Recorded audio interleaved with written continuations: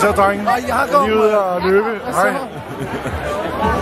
Jeg skal lige filme lidt.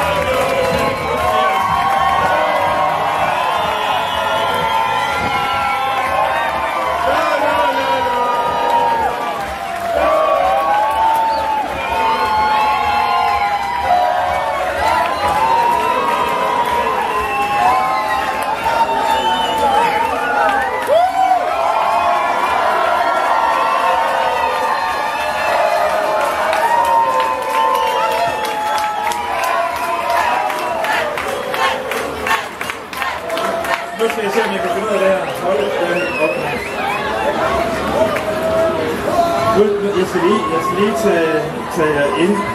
Det der er lidt, det er lidt hæftigt, det her.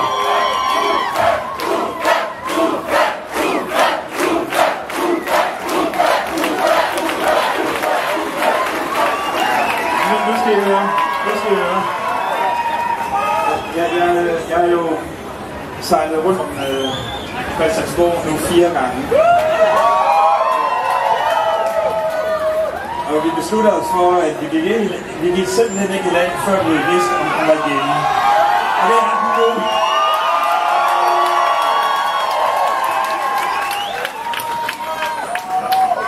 Og, og jeg vil sige til jer, at øh, I ser fuldstændig sindssygt fremragende godt ud. Til gengæld er der dårlig lyd på den her.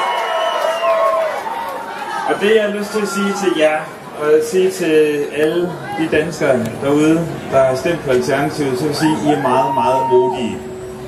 Øh, I er meget, meget modige. Fordi I har stemt på et helt nyt, lille, grønt, entreprenant parti. Og jeg ved, der er mange af jer, der har stemt på andre partier øh, før i dag.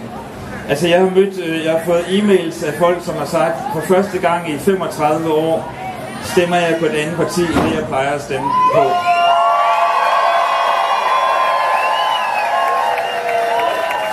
Det, det, kræver, det kræver et enormt mod, vil jeg sige. Øh, og det er ikke bare øh, stemmer, det er ikke bare stemmer, der kommer ind fra de store byer. De kommer ind fra hele landet. Og det her, det, handler, det handler om, at... Øh, og nu kommer Store år ind.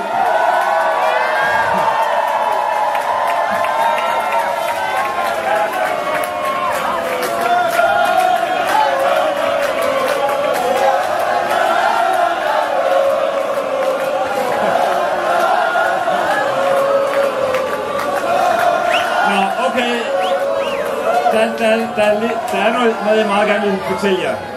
Der, der er noget, jeg meget gerne vil fortælle jer. Fordi at øh, det her, det handler om øh, en drøm. Det handler, det handler om øh, en øh, ambition om et langt mere... Jamen, jeg kan jo ikke snakke højere i den her. Altså, det, der er der nogen, der skal skrue op. Altså, jeg håber... øh, Kan I høre mig? Nå, men så skal vi, så skal vi være tyst der. I skal være stille. Øh, det her, det handler om et grønt Danmark. Det handler om et øh, empatisk Danmark. Det handler om et langt mere kreativt Danmark. Det handler om et langt mere frit Danmark.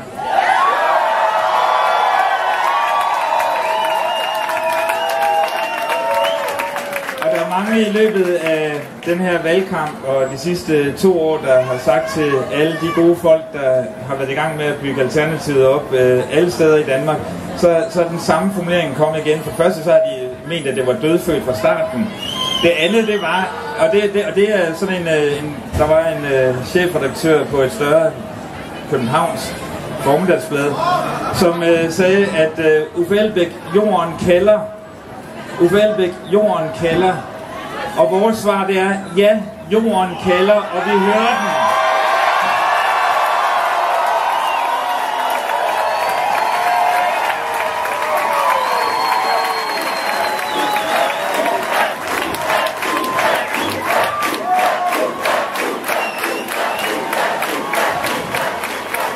Jeg vil, jeg vil også sige en mere ting, det er, at øh, det her det er jo kun starten. Altså, og jeg håber, I alle sammen vil være med til at skrive det næste ka- kapitel. Og nu kommer store ord igen for mig. Øh, men at I vil være med til at skrive et nyt kapitel øh, omkring en ny politisk kultur. En, øh, en, en anden forståelse af vækst. At, at, at vækst ikke bare er materiel vækst og økonomisk vækst, men det er kulturel vækst, det er social vækst, det er empatisk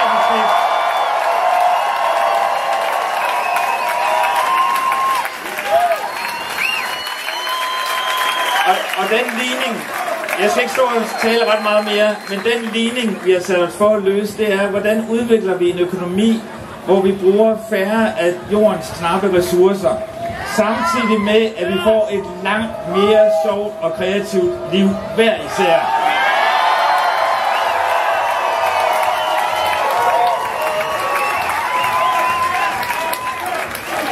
Og så øh, som øh, gammel øh, 68'er, så er jeg jo glad for, at hippien er blevet øh, genintroduceret i Danmark. Og mere end det, det er sådan, at øh, der er nogen, der snakker om revolution. Der er mange måder at gøre det på. Vi har jo en ambition om at lave en venlig revolution.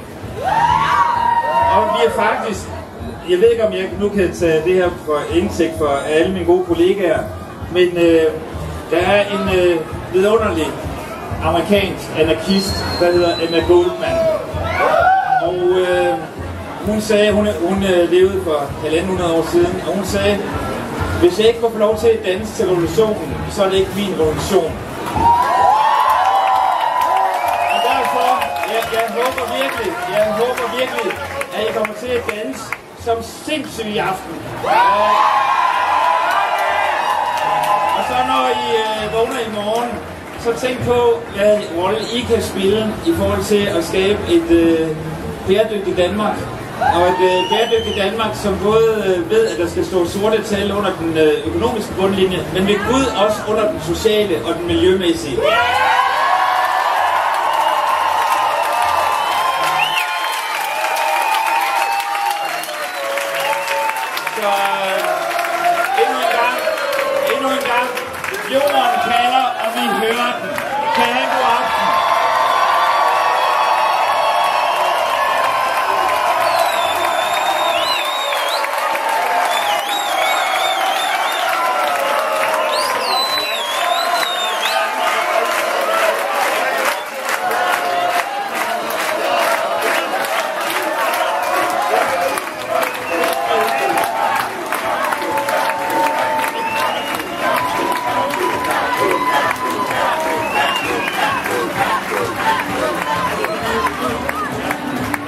Okay, jeg har lige fået lov til at være sådan en uh, smartass uh, presenter, uh, som handler om, at uh, nu kommer der et fantastisk band og en fantastisk musiker, Winnie Who.